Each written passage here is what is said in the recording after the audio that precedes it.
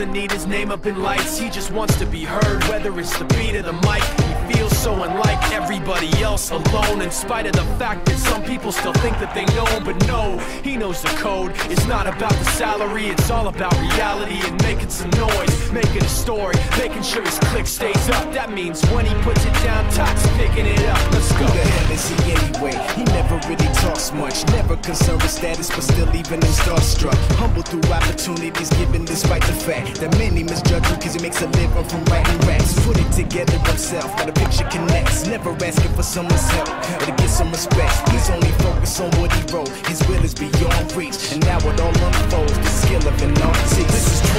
20% skill, 80% fear, be 100% clear, cause Ryu was ill. Who would've thought he'd be the one that set the West in flames? And I heard him wreck it with the crystal method, name of the game. Came back, dropped mega death, took him to church. I like Bleach, man. Ryu had the stupidest verse, this dude is the truth. Now everybody giving them guest spots and stocks through the roof. I heard him with that This is 10% luck, 20% skill, 15% concentrated power of will, 5%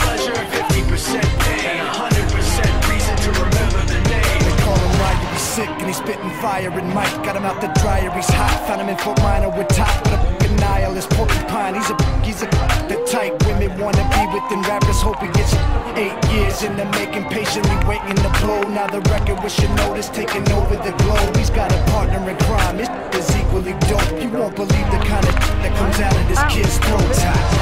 He's not your everyday on the block. He knows how to work with what he's got, making his way to the top. That doesn't stand for an acronym? No, he's living proof. Let him rock in the booth. He'll get you buzzing quicker than a shot of vodka with juice. Juice. Him and his crew are known around as one of the best. Dedicated to what they do and give 100%. Forget Mike, nobody really knows how or why he works so hard. It seems like he's never got time because he writes every note he writes every line. And I've seen him at work when that light goes on in his mind. It's like a design is written in his head every time before he even touches a key or speaks in a rhyme. And those other fellas he runs with, the kids that he signed, ridiculous without even trying. How do they do it? This is 10% luck, 20% skill, 15% concentrated power